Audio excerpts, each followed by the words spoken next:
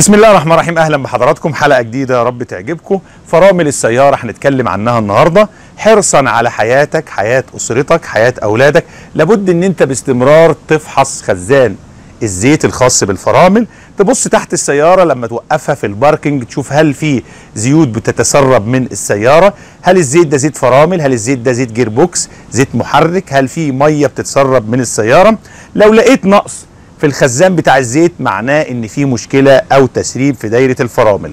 50% من الصيانة هي الفحص بمجرد النظر. ما افتحش الكبوت بس لما تحصل مشكلة في السيارة لا باستمرار كل أسبوع أسبوعين. أبدأ أبص في كبوت السيارة أشوف فيه هل مشكلة في خلل في نقص في أي من الزيوت الأساسية بتاعة السيارة. قبل ما نروح مع بعض نشوف الجانب العملي هنروح نشوف الزيت اللي أنا بتعامل معاه زيت الفرامل إيه مخاطره إيه أضراره إيه النوع اللي أنا مفروض أستخدمه في سيارتي؟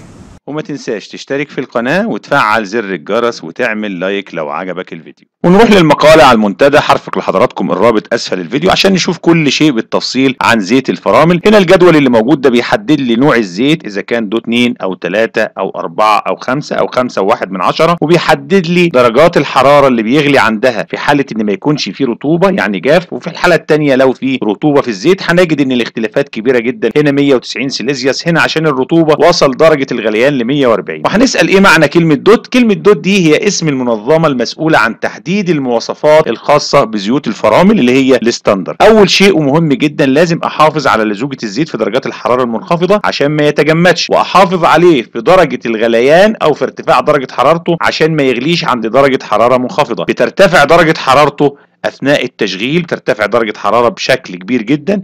هنا هنلاقي كل شيء مرفق في المقالة. هنا هنلاقي كل شيء عن الزيوت وأنواعها. هنلاقي إن دوت 2 طبعا مش هنتكلم عنه لأن أقل جودة وأقل واحد موجود في السوق. أرخص الأنواع هو دوت 3 لو في رطوبة بيوصل ل 140 سيليزيوس. والأفضل طبعا إن إحنا نستخدم الدوت 4 هو أفضل شيء. وأنا بغير الزيت في سيارتي ما لقيتش دوت 4 في السوق. لقيت بس دوت 3 فاضطريت إن أنا أغيره. والمواصفات بتاعة سيارتي زي ما هنشوفها مع بعض موجودة هي. المواصفات موجود فيها إن الدوت 3 هو الزيت المخصص لسيارتي. ولابد بعد ما أخلص شغل إن أنا أغسل الأجهزة اللي أنا قست بيها اللي هنشوفها مع بعض في الفيديو أغسلها بالمية وأرش مية على أي جزء من أجزاء السيارة جه عليه زيت الفرامل. مهم جدا عشان الزيت خطر جدا على الجلد وخطر على البويات وخطر على البيئة. في البداية لابد أكون حذر وأنا بتعامل مع زيت الفرامل لأنه سام وبيؤثر على الجلد. لابد إن أنا أثناء الفحص إن أنا أشوف المستوى ال maximum وال minimum يعني المستوى العلوي والسفلي للزيت وأفحص لون الزيت لأن زيت الفرامل لما بيتغير لونه وبيبدأ يبقى غامق زي ما حضراتكم شايفين كده ده معناه إن الزيت فقد خواص وفي نسبة رطوبة عاليه عشان توصل المعلومه هناخد عينة من الزيت القديم ونشوف لونه ونفحصه مع بعض.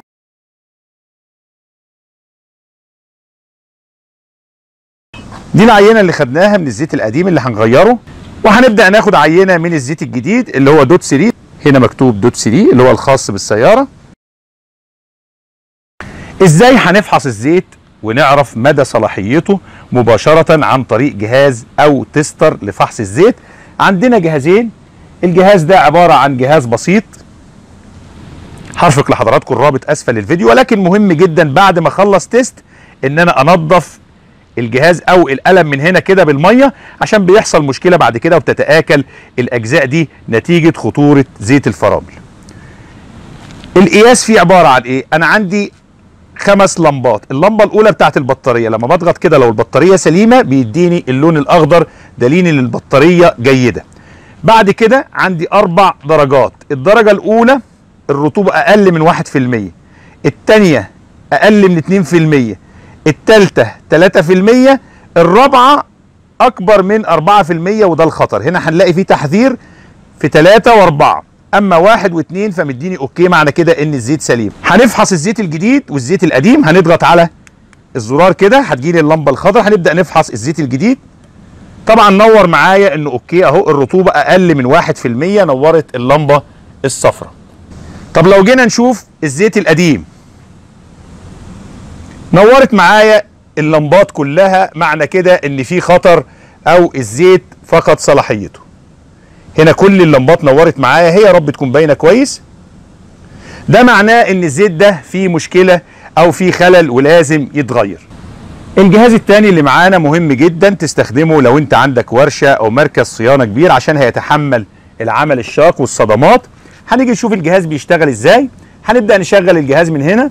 عندي التدريجات اللي موجودة الرطوبة أقل من نص في المية أقل من واحد في المية أقل من اتنين في المية مديني okay.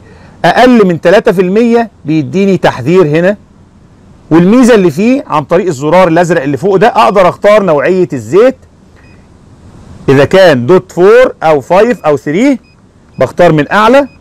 وهنا الزرار ده بيديني إضاءة في ال sensor بتاع الحساس أقدر أطفي وأنور اللمبة. وهنا بيديني إضاءة للشاشة أقدر أنور الشاشة واطفيها. هنبدأ بقياس الزيت الجديد. أول ما نضع السنسور في زيت الفرامل هتبدأ التدريجات تنور معايا. اهو مديني إن الزيت أقل من واحد في المية يعني الزيت صالح للاستخدام. هنطفي ونبدأ نمسح السنسور وبعد كده نبدأ نقيس الزيت القديم.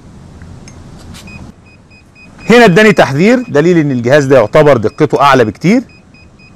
طب لو أنا غيرت نوع الزيت من فوق نفس الأمر دليل إن الزيت ده فيه رطوبة عالية جدا أكبر من 4% ولازم إن أنا أغير الزيت بسرعة. هنا لو استخدمنا الجهاز البسيط هيديني فعلا إن الأربع لمبات قايده دليل إن الرطوبة عالية جدا في زيت الفرامل ولازم أبدأ بتغييره فورا. في البداية لابد افضي الزيت كله اللي موجود في خزان زيت الفرامل وهبدأ بتفريغ الزيت من آخر كفر على اليمين اللي هو على يمين السائق في الآخر لأن هو أبعد كفر عن الماستر بتاع الفرامل.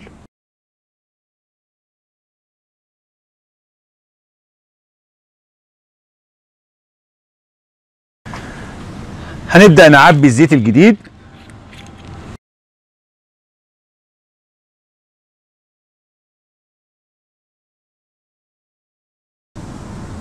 وهنبدأ نفرغ الزيت اللي موجود في آخر إطار على اليمين ونبدأ نفضي الزيت ونزود من هنا زيت تاني عشان الماستر أو نظام الفرامل ما ياخدش هوا مننا وإحنا شغالين.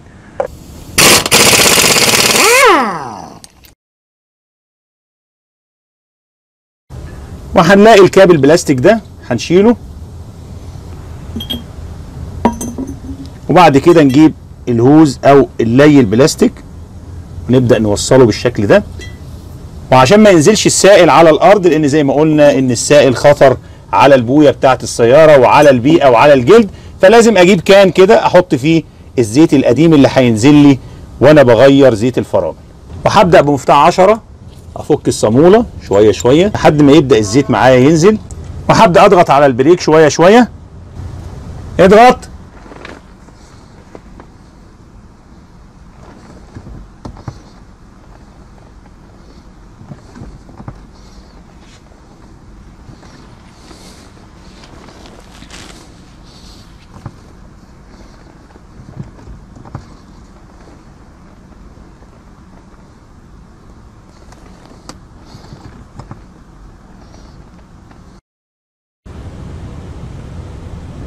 ونبدأ ندوس ونضغط ونكارك لحد ما الزيت يبقى نضيف زي ما حضراتكم شايفين كده.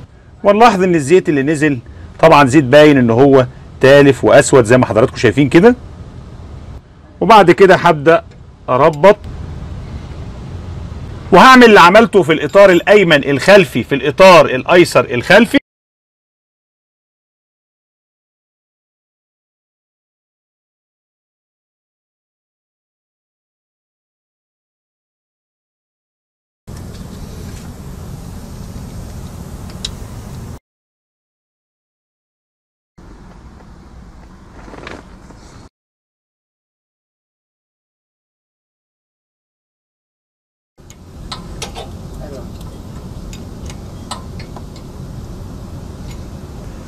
ونفس اللي عملناه في الإطار الأيسر الخلفي نعمله في الإطار الأيمن الأمامي وبعد كده الأيسر الأمامي وبكده يبقى خلصنا تغيير الزيت. ويا رب حضراتكم تكونوا استفدتم وشكرا جزيلا لكم.